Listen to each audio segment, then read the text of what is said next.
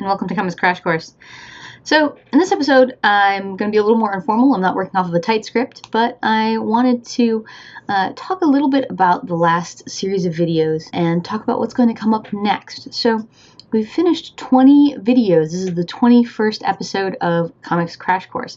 And I'm going to take a little bit of a break uh, for the month of August. I'm going to prepare the next set of videos, do a little traveling to see some family. And this past set of videos has been on the history of comics, at least in the US. And the next set of videos is going to be about the comics form, what makes comics different from other forms of art. But I guess one of the things that I wanted to address before I go on this little sabbatical is why I decided to start the series exploring comics history. So I guess another way to get at what I'm saying is in this video I want to ask and in some ways answer why does comics history matter? Especially if you want to know about comics. If you're just a comics fan, if you want to know a little bit more about comics, if you want to make comics, why should you know anything about comics history?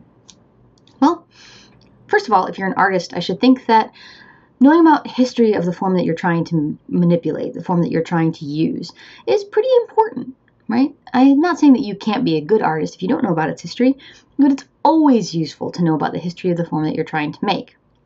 To know where certain movements come from, to know artists that have worked before you, how those artists came to determine certain techniques, how certain artists and movements are responding to certain movements before them.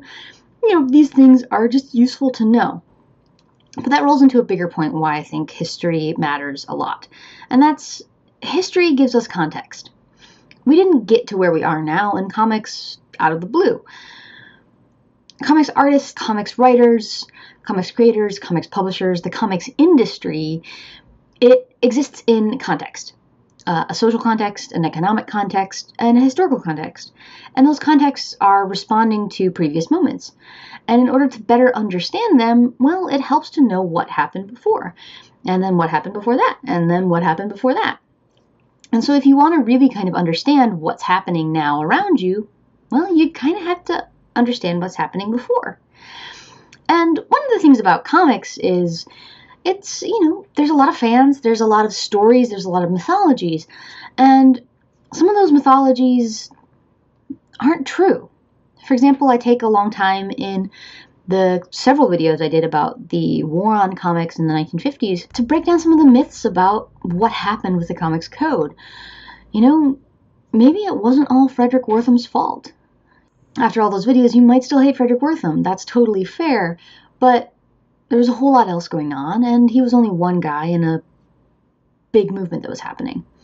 Uh, but, you know, in a lot of kind of fan stories of what happened in the 1950s, you'd think that Fredric Wertham was pretty much the only guy involved. So, knowing about history helps you have a better and fuller understanding of how we got to where we are today.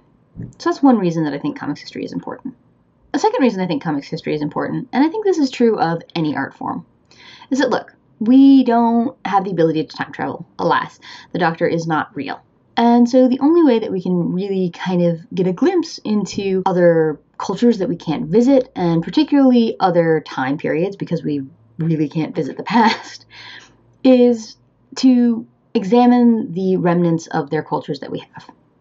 So, sure, you could talk to maybe your grandma who was alive in the 1920s, um, but you know, her vision of the 1920s is now a little bit shaded by her having lived um, from the 1920s until today.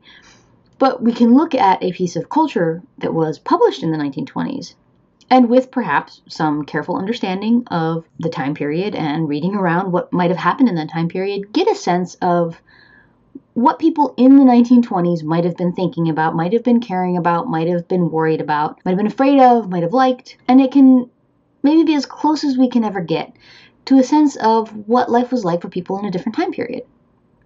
And that's really cool. And, you know, the world is crazy right now. I mean, it always feels kind of crazy, but I know for a lot of people, feels like everything's kind of on fire and everything's crazy and everything's moving so fast. Um, but one of the things that happens, at least for me, when you go and study history, is that you find out that people have always felt like the world is going crazy and everything's moving too fast and people are just mad and everybody hates each other and can't figure out how to solve these differences. And so it's really fascinating to find out the ways in which, in some sense or another, humans have always been pretty human. And you can see that through these kind of cultural remnants that we have uh, comics being one of them. So that's two ways uh, in which I think comics and comics history matters. So, sort of tying into that is, I think, this notion that we often have. Um, one of the fancy words for it is uh, this teleological vision of history. So, teleological is a is a sort of fancy theory word that means that we are moving through history, um, constantly progressing towards some sort of ultimate end point, right? In which you know we reach nirvana, or that we're ultimately always getting better, and there's going to be some sort of endpoint, right? The idea is that well, we're just better now than we were back then. We understand more than we did back then. Um, we figured out more about humanity. We figured out more about the world. And well, you know, sure, maybe we have better telescopes and technically we can see further. Um, there are a lot of ways in which, when you look back at, again, these remnants of culture that we have from previous decades, and comics is one of them, you actually see the complicated ways in which people understood the world. And while, you know, they might have understood it slightly differently, I don't necessarily think it's fair to say we understand the world and the ways of the world better now than we have in the past. Take George Herriman, for an example, and Krazy Kat. This strip from 1919 examines gender and race in massively complicated ways. Um, ways in which I think are still shocking, are still complex, are still challenging for a modern reader. And we tend to think that we're like way enlightened and we understand things way better than we did in the 1920s. But this black and white comic strip, newspaper strip, not even a graphic novel, a newspaper strip from the 1919 was doing things with gender and race and language that are still shocking. And it wasn't like he was some lone genius that nobody understood. He was printed in daily newspapers, uh, and people read him. So we can find out the ways in which, again, humans have always been human. We've been thinking about the problems that we think about. People have felt things about gender, about sexuality, about identity. They've struggled with race. They've thought about history and politics um, throughout time. And maybe they've thought about it differently, and maybe they've articulated it differently. And we see these in culture. And one of the forms of culture is comics. And what I find interesting about comics, and one of the things that we'll get into about comics in this next series, is that comics gives us this insight in both verbal form and visual form. So we get to see both how people thought about these ideas in language and how they thought through these ideas in images. And so for me, it's a sort of doubly fascinating form to think about all of these kind of cultural, time, history, context things uh, throughout history. And as hopefully this history series has shown you, that history goes back a pretty long ways. So that's the reason that I started with history. Uh, on the one hand, it's a great story.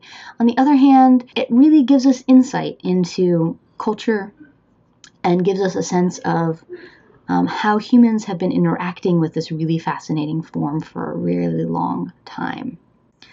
I hope you've enjoyed this first series, and I'd like to thank you all because today I just hit a hundred subscribers, which you know, I watch plenty of YouTube. I know people hit a million or whatever, but a hundred? Come on for a little comics education YouTube channel, that's pretty spectacular.